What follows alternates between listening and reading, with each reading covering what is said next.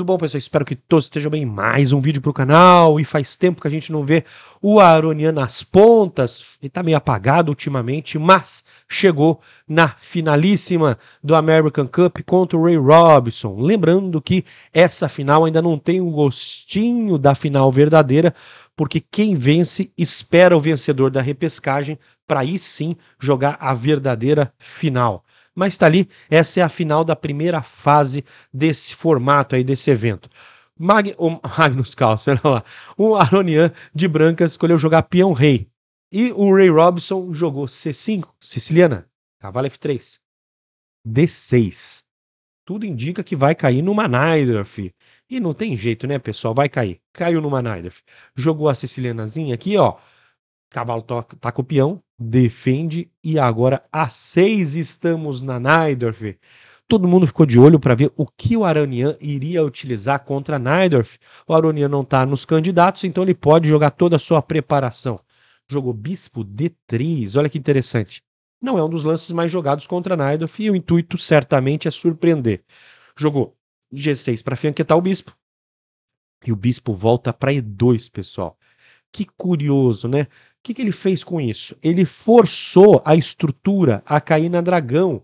Então ele está forçando a estrutura a cair na dragão, por isso ele volta o bispo para E2. Muitas vezes esse bispo pode segurar um G4 depois.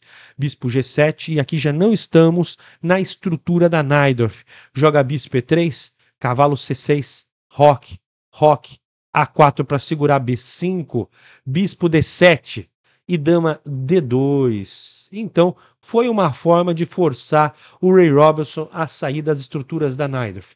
Joga B5 mesmo assim, olha que lance agudo. Bom, toma, toma o cavalo, toma e toma de bispo, pessoal. A ideia é que se o Aronian tivesse tomado, tomado aqui, o cavalo não pode capturar que cai o peão de E4. Então, jogou torre D1, Aronian vai querer pressionar o peão de D6, troca e toma de dama agora. Olha a fraqueza ali, peão de A6 isolado, joga A5 e o Aronian vai tratar de abrir a coluna em cima da dama. Toma, toma e dama B6. Como está o gerenciamento de tempo? Tá uma coisa surreal. Dá uma olhada no relógio. Aronian aqui com 1 hora e 2 contra 27 minutos do Ray Robinson. E a posição tá com leve vantagem para branca, só que o Ray Robson gastou tempo demais para tentar igualar. Jogou cavalo B5, torre na C8, de olho ali no peão de C2, B3, ele tem que tentar sempre avançar os peões passados, dama B7, torre A4. Olha lá. Lance interessantíssimo, segura a quarta e pode de repente dobrar ou no futuro C4 e triplicar. Joga a torre C5 tocando no bispo, C4, mandou. Dama E4, trocando as damas, aceitou a troca de damas, bispo toma, toma e o Aronian joga F3, expulsando o Pocotó, já que o cavalo está vigiando a volta de D6. Volta para F6, aqui o cavalo já está dominado pelo peão, e agora o Aronian vai tentar ganhar o seu peão a mais. Torre na coluna, torre toma e torre D3. As pretas têm um peão a menos, porém atividade. Tem que gerar um contrajogo aqui. Torre volta para 3, e agora cavalo D5. Ray Robson gasta aqui um tempo curto para achar o melhor lance do Stockfish. Repara que o Ray Robson estava com 7 minutos e 54 segundos e ele gastou praticamente 8 segundos para jogar esse lance. A ideia é que ele tem que bloquear o lance B4. Joga torre 1 e agora cavalo F4. Pouquíssimo tempo no relógio, agora caiu na casa ali dos Menos de 4 minutos no relógio e o Aronian ataca o cavalo. Não pode deixar levar um torre G2. Torre F5 defendendo e B4, oferecendo uma troca de torres. Torre vem para a sétima, é o lance mais ativo, e agora o rei sai. Já vai cair um peãozinho. Aronian está usando aquela tática, está gastando pouco tempo no relógio. Só que o Ray Robinson está realmente muito apurado 35 segundos. Joga torre B2 não toma o peãozinho de H2, mas joga a torre B2, que é um erro, pessoal. Não tinha como calcular aqui o lance, que segundo os computadores empataria, mas aí, se você acertar toda a sequência de lance de computador, é E5. E5 com a ideia dessa torre ativar, pessoal. Esse é o lance para igualar aí no placar. Mas jogou torre B2 e aqui não dá mais tempo de jogar E5 porque o Aronian ele acerta o lance. Cavalo D4. E agora, o que, que acontece? Essa torre tem que ir para F6, então ela não tem essas manobras. Ela está totalmente fora de jogo. Ela não pode ajudar no ataque. Vantagem decisiva para o Aronian a partir desse momento. Torre B3 oferecendo troca de torres. Torre D2. Torre B1 guardou a oitava. E5, agora ele joga tarde demais. Cavalo E2 para trocar as peças. E cavalo D3. Tem que complicar o jogo a preta. B5, disparou o peão passado. Torre D6. Cavalo C3 torre cheque. Defendeu. Torre volta para C2 atacando o cavalo. Cavalo D5. Cavalo volta para C5. Tinha aqui a oportunidade de tomar o peão, mas cai o peão de C4. Não é bom. Esse peão é a base do peão passado. Então ele volta. Ataca e defende. Torre 2 e agora cavalo F5. E com esse tático acabou o jogo, né? O cavalo ataca o rei e vai cair a torre de E2. Essa foi a primeira partida do match, onde o erro maior parece ter sido o tempo. Ray Robson não soube gerenciar o tempo e ficou com pouquíssimo tempo para jogar muitos lances na partida. Vamos para o segundo game agora. Agora é a vez do Aroninha jogar de pretas contra o Ray Robson e manda aqui D4. Bom, pessoal, o Ray Robson, para quem não conhece, ele é um dos maiores jogadores na resolução de puzzles, problemas da internet. Você que certamente já tentou brincar resolvendo probleminhas no chess.com e no Lichess, o Ray Robson é um dos maiores do planeta nesse ponto. Vamos lá. Jogou D4, cavalo F6, C4. G6. Olha lá, o Aronian provavelmente vai mandar aqui uma Grunfeld ou uma Índia do Rei. Vamos ver, cavalo C3 e D5 Grunfeld, né, pessoal? O Aronian não é um jogador do tipo tático. Basta ver que o seu campeão do mundo preferido é o Tigran Petrosian. Bom, peão toma, cavalo toma, E4 atacou o cavalo, toma, toma e bispo G7. O Ray Roberts tem que tomar muito cuidado porque a Grunfeld é uma linha de muitos lances já feitos, já decorados. A quantidade de teoria da Grunfeld é absurda. Então, dependendo da variante que a branca tenta encaixar, já existe uma sequência estratosférica para conseguir o empate das pretas. E empate é o que o Aronen está buscando, já que venceu o primeiro game. Então, tem que pisar em ovos ali o Ray Robson. Bispo C4, ele escolhe essa linha A6 para jogar B5 e agora H4. Olha lá, vem com tudo. Ray Robson se, resolve jogar a lá Jing Liren, o Jing Liren que gosta de avançar esses peões assim, joga C5, cavalo E2. Embora eu já mostrei aqui no canal, esse plano começou com o primeiro campeão do mundo, William Steins, hein? Mas vamos continuar aqui. H5, Rock. Rocou mesmo com o peão em H4. Que situação. Rock. Bispo E3. A branca tem o centro. Dama D2.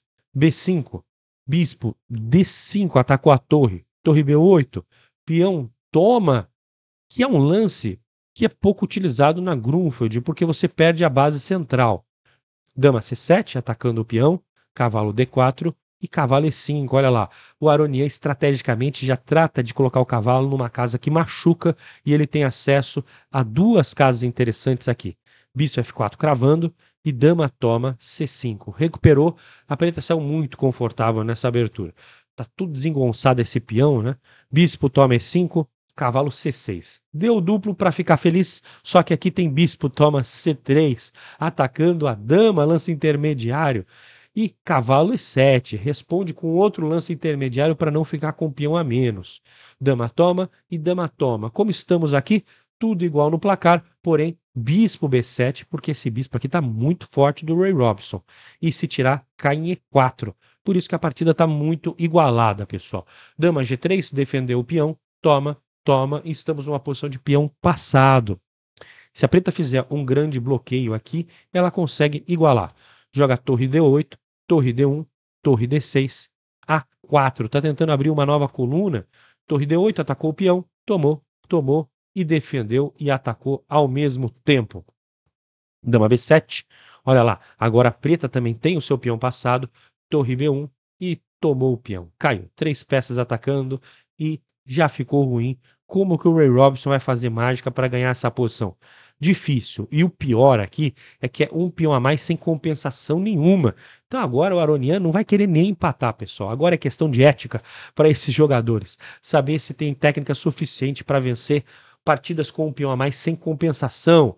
Vamos ver. Aliás, eu, eu gosto muito do comentário do, de um autor chamado Agard. Ele fala que sente raiva quando vê os livros de xadrez pararem nessas posições.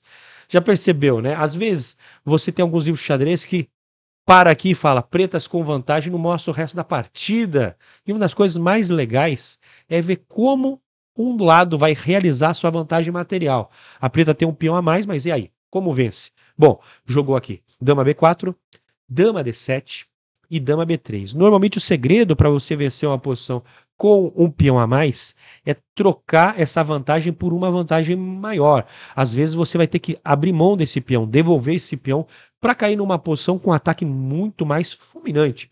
Jogo torre C5, dama B4, dama C7. Olha lá, interessante a primeira fase do plano do Aronian. Ele coloca, reposiciona as peças na coluna C, porque aqui a dama pode criar rede de mate. Joga dama E1, então, ó, defendendo a oitava fila. Dama E5, tá querendo passar para um final de torres. Não quer. Dama D2. Pessoal, dama tem bem mais chance de perpétuo, então mantém as damas do tabuleiro. Torre D5, dama C2, dama F5 e trocou. Não teve como evitar.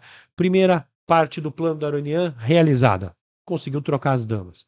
Torre toma, torre C1 e agora vem trazendo o rei torre F7 para segurar o rei e ele vai querer prender a torre ali por cima, que é o melhor. Rei E8 e F3. Joga esse lance para o rei poder ajudar na defesa. Rei D8 e torre A7. E vem o rei para ajudar o peão passado. Rei F2 na corrida. B4 dispara o peão passado. Rei E3. Torre D5 cortou o rei. Torre toma peão. Aronian sacrifica o peão. Lembra que eu falei para vocês? Ele devolve o peão para cair nessa posição super perigosa, porque aqui ele ameaça torre B5. Então a branca tem que voltar correndo aqui, ó, ameaçando torre B4 ou cheque para voltar a torre a tempo. Joga torre B5, que é o correto. Normalmente nesses finais a torre, ela vai dar o suporte atrás do seu próprio peão para avançar, e cada avanço ela ganha uma horizontal para se ativar joga torre C4 cheque, rei D7, torre C1, e agora ele trata de vir com o rei. Bom, peões iguais, porém esse peão apoiado aqui pela a torre, joga rei F5 e olha lá, o rei vai entrar. Torre B1, rei F4, entrou. Bom, pessoal, talvez aqui G3 para tentar parar o rei, contudo, você pode dar a opção de pegar a sexta, né?